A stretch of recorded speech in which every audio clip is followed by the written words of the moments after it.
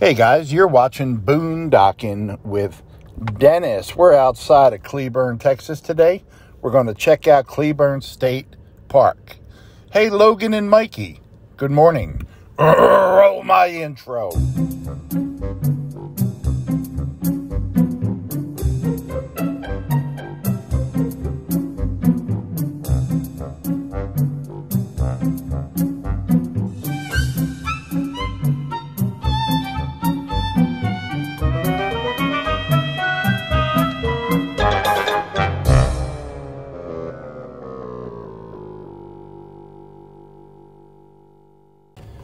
Well, guys, it was a beautiful drive to get up here to Cleburne State Park.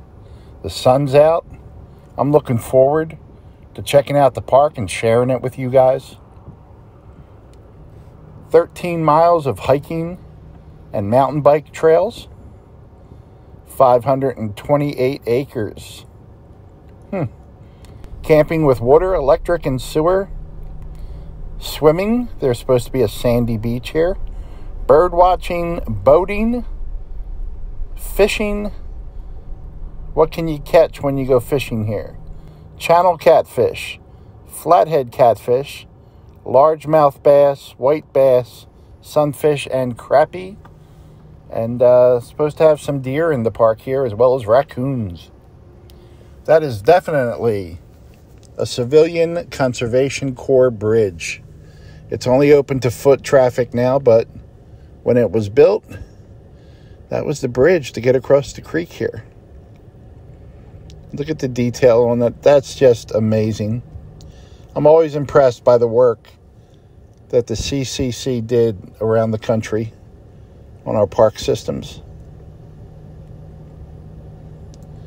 Not much water today, but I bet you that has stood up to quite some flooding over the years. Lots of hills little roller coaster ride throughout the park, which is kind of neat. Most of the hills here are white limestone.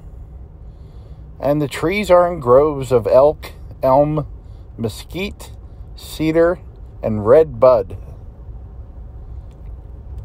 There's an earthen dam here that holds uh, spring water. Ah, wow, that's pretty neat. 116 acre spring fed lake. And the water here is clear. I've already looked at it a few times. Give you a little view from the top of the crest here. Real, real close to uh, Cleburne, Texas. In case you need to get some supplies. There's actually a restaurant right outside the park entrance. I believe it was called the Country Kitchen. I just drove by and the sign said burgers, fries, tacos, you know, good old home country cooking. There's the Love Shack. I'm going to let her rest a little bit, give you guys a view.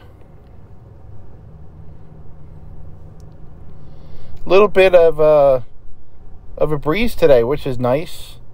Feels great, but plays havoc with the microphone and that would be a nice tumble for me down the hill. Now that would be a video, me going head over heels down the hill. That would be funny. Speaking of things that aren't funny, did you hear about the chicken farmer who went bankrupt? No? Yeah. He just couldn't make hens meat. Yep. Yep, dad joke. All right, Love Shack. Let's get out of here. Let's get out of here before they turn on us. And as always, no matter where I go, I'm going to shoot right into the sunshine. It's a pretty lake. There is a little uh, pier I'm looking at on the map. So let's go check that out. This is where I met Paul. Paul from Cleburne. He rolled uh, the intro the other day. Very nice to meet you, Paul. I want to thank my buddy Drew, who gave me a very generous gift, and that went right in the gas tank. And I also want to thank Betty, who sent me a gift. And Betty, thank you very much. Also, right in the gas tank. I appreciate you guys. That's going to get me around uh, some of these towns that we all want to see, and uh, I'm checking out the state parks as I go. Trying not to make it all state park videos, but there are a lot of interesting towns around here. Yeah, what am I looking at? Wind is definitely picking up, but it is pretty. And in this whole section, there was a young lady in a kayak. Paul is fishing back there on the right. And uh, me. So a state park during the week, it's pretty good deal. A lot less people, especially now that the schools have started back up again.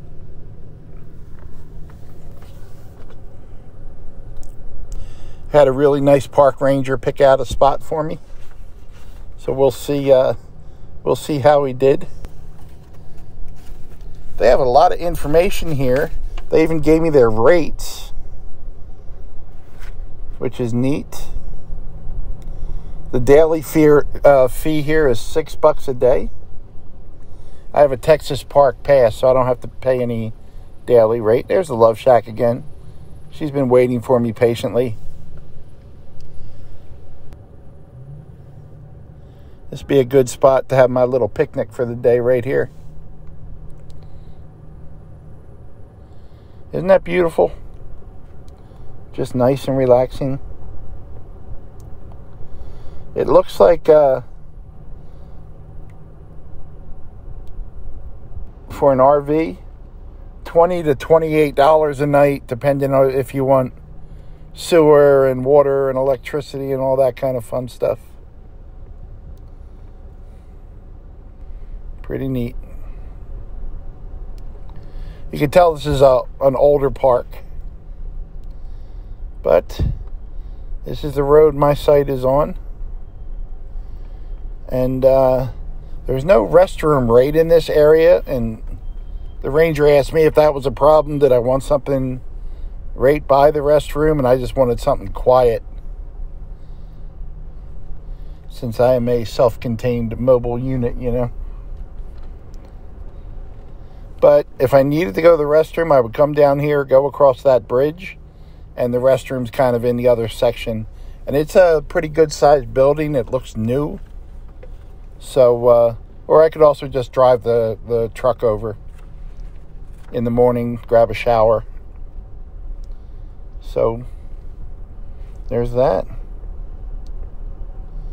Quiet time here is 10 p.m. to 6 a.m and uh, that is pretty standard in most of the state parks, at least Texas state parks. There's some uh, civilian conservation corps work. Put in a little trench there for the excess water to run off during the rainy season. Speed limit in the parks 20 miles an hour, and that's why I'm going 8. try to show you some of the different sections. And I'm pretty sure they, like, this is the uh, the older part of the park, and then they did some add-on roads because some uh, some of the roads just look more modern as far as giving you more room for your RV and your trailer.